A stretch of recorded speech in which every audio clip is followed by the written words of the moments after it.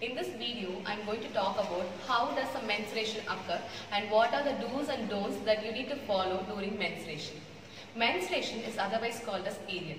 When a girl gets older, her body changes and she gets period. So this is a picture of human female reproductive structure. This part is called as uterus. In Tamil, it is called as Garbhapai. Uterus is a place where a baby develops and the inner lining of the uterus nourishes and supports the developing baby. The human female structure consists of two ovary, one on the right, next on the left. Each ovary produces the egg. For example, if this month the right ovary produces the egg, then the next month the left ovary produces the egg. So each ovary produces the egg simultaneously. For example, once egg is produced by the ovary, it moves via the fallopian tube and reaches the uterus. If it is not fertilized by the sperm, then the egg along with the inner lining that is tissue, mucus comes out through vagina which is called as period or menstruation.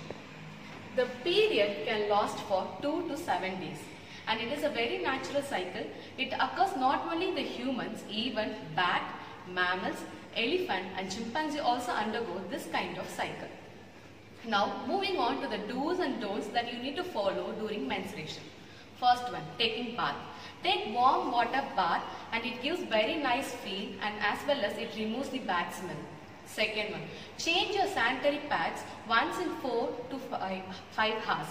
And next one, take 10 to 12 glasses of water.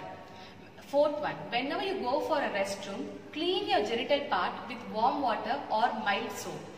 Avoid taking carbonated drinks. Try to drink fruits and vegetable juices. And avoid taking fat-rich or oil-rich food.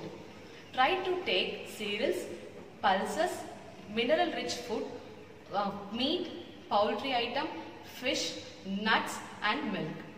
Whenever you feel stressed or whenever you think that you are not in a good mood, take one or two pieces of dark chocolate. Taking dark chocolate is highly preferable and it is also uh, supported and recommended by many scientists. And one more thing, whenever you are having period, try to do some mild yoga or exercises and even you can dance for uh, 30 minutes and it gives some relaxation for you.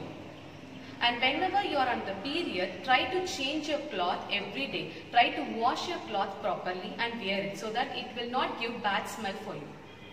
And one more thing and last but not the least one, don't take much of salt as well as uh, uh, junk food and as well as the packed food. Because taking uh, much of salt and junk food increases and decreases your hormone. That is fluctuate your hormone and it causes many uh, many problems. So avoid taking salt high salt uh, rich food and as well as junk food. And last one is have a positive thought.